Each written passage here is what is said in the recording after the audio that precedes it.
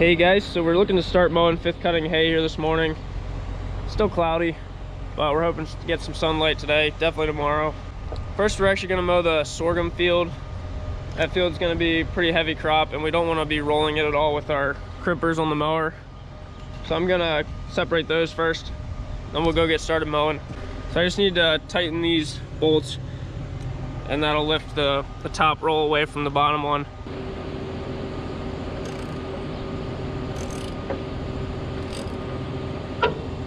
I went over the mower already yesterday, so it's good to go besides this adjustment.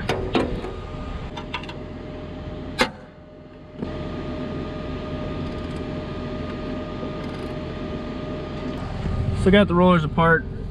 That's all the gap is. Just thinking I could get the gap a little bit bigger. We got the new rollers put on last winter. Guess we can't separate them quite as much as before. Hopefully it doesn't crimp it too much. If it does, we might have to use our other mower for that field. We do have that three-point mower we could stick on the other tractor if we wanted to do it that way. So there's the sorghum field across the road.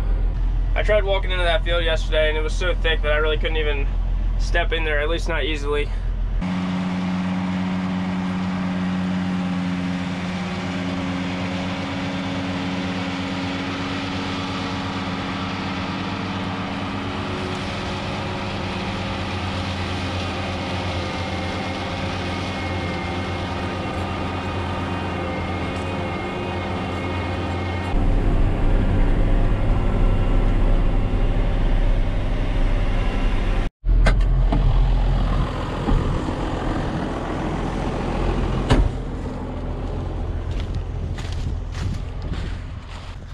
Wanted to see if it's getting crimped too hard or I want to make sure it's not knocking all the seeds off the plant.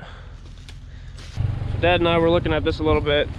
Decided the rolls are kind of breaking up the grain heads a good bit. You can just see there's a lot of grain laying on the ground. I don't really know how much is too much, but a lot of the heads seem like they're broken up pretty much.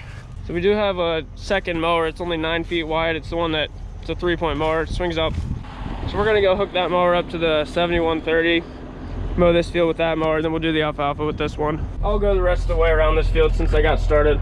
So early this year, we got rid of a bunch of pasture at this farm. So a lot of this field is from that.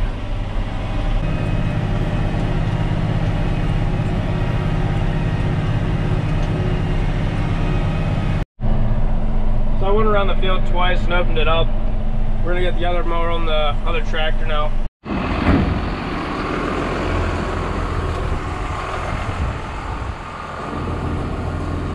This mower doesn't have the rolls on it. It's just the cutter bar there.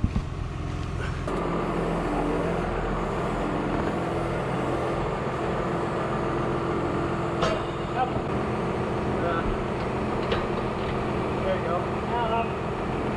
How's this side looking? That's good.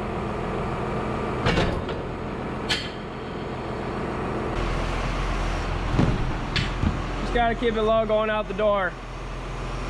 Yeah, we hadn't really been using this mower too much, but comes in handy sometime.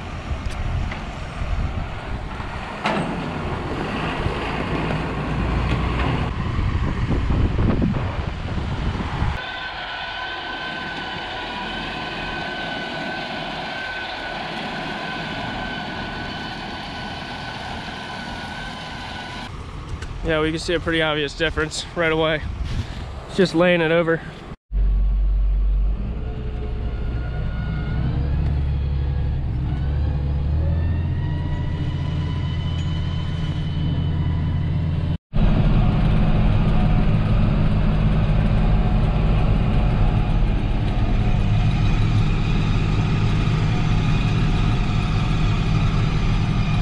So this mower should do the job. I'm gonna let dad work at it now.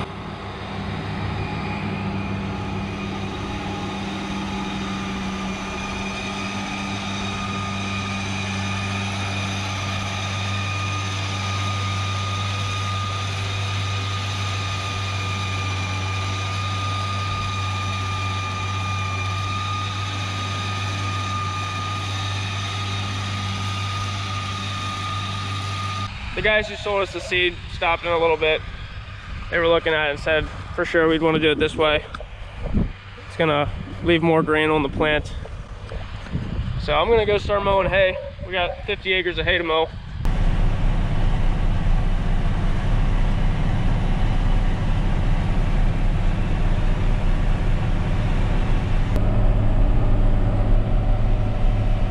So I'm working on my fourth field now. Going good. My dad's still mowing that field. He's over there. So this is fifth cutting alfalfa. We uh, were gonna try to do it last week, but it was pretty cloudy, rainy all week. And this week is kind of looking the same so far, but it's supposed to get sunny tomorrow.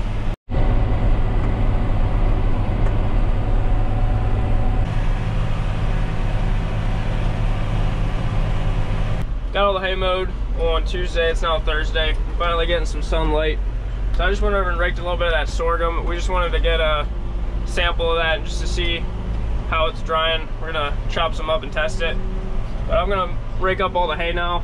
Then we'll come back to the sorghum later.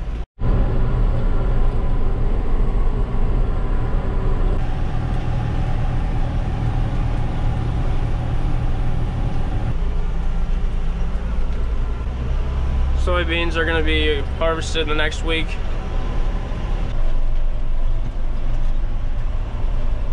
This will be the last alfalfa field. They did not start chopping, but I think they'll be here any minute. We don't really have any space in the silos for it. We're gonna put it in an ag bag outside. I'm gonna start raking this sorghum field now. Before I raked the hay, I came through and raked two passes in this field just to see how it would go. This stuff is heavy. We did a moisture test on it, tested at 62% earlier. We're shooting for about 60%. This is the first time we've ever harvested this type of crop. It's gonna be interesting to see what the feed looks like then.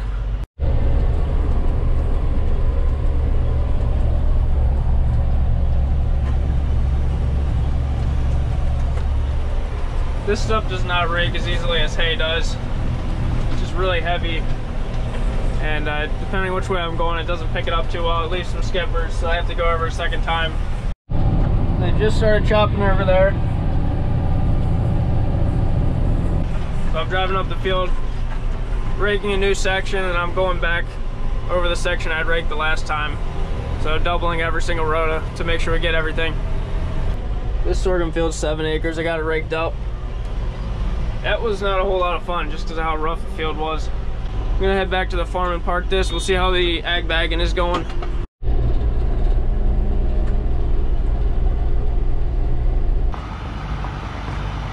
Someone else wants to use that rake now, so dad's gonna take that back.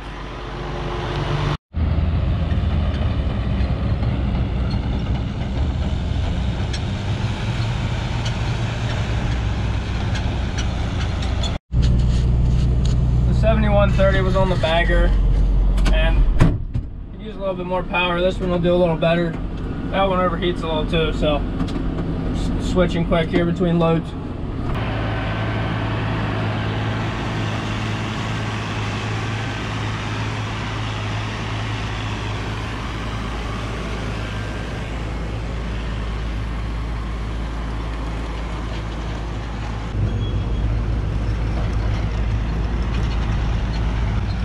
There's a backstop on it and cables that keeps tension so I can pack it tight. Pretty solid.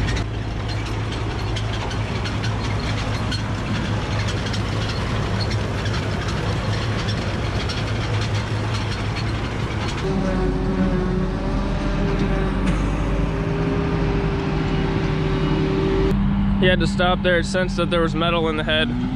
We found this.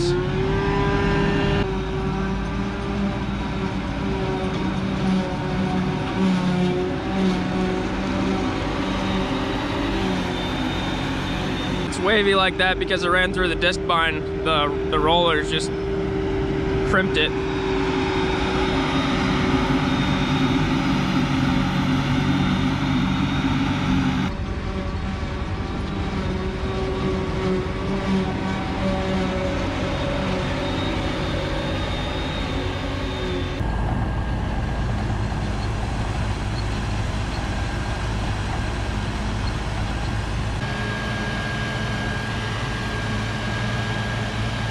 To the other farm and get set up to uh, put the sorghum in that silo with the heifers.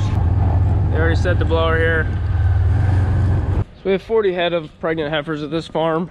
This is our first time growing the sorghum crop that's out in that field right out there. Uh, the plan is to just feed that crop by itself. Should be kind of a balanced crop. We don't have to mix silage and haylage for them. So we're gonna put that in this silo right here. Clean this manure up, get these gates out of the way quick.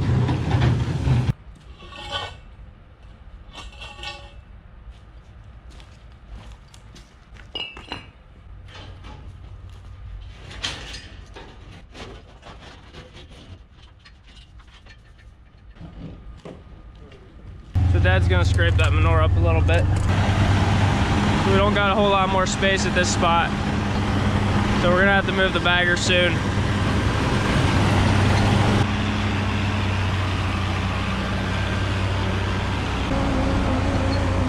We're gonna stick the second one in this area. They're about two thirds of the way done now, so it's not gonna need to be even as long as that one is.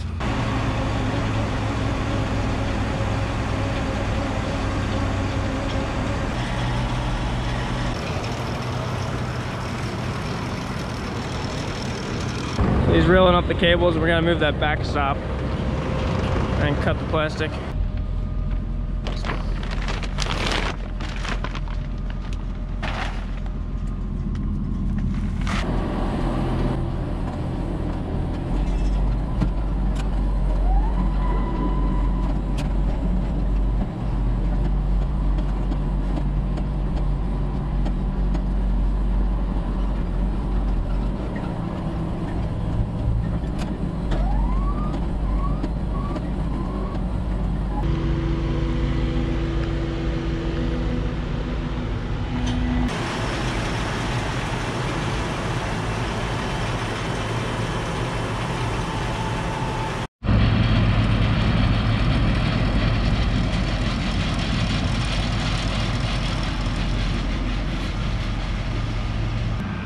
Just noticed there's some heifers carrying on out here. Probably a few in heat, just watching them a little bit. So they're almost done. They got a few more loads to put in this bag and then we'll switch down to that silo. It's not gonna be too much work for us anymore.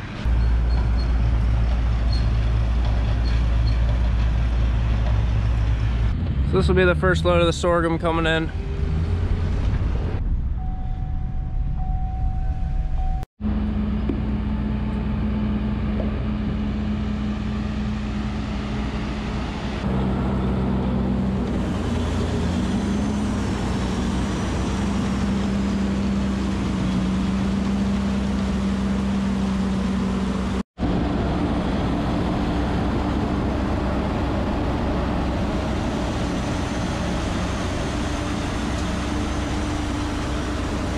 I'd say the sorghum has a different smell to it. It doesn't smell as good as corn silage does.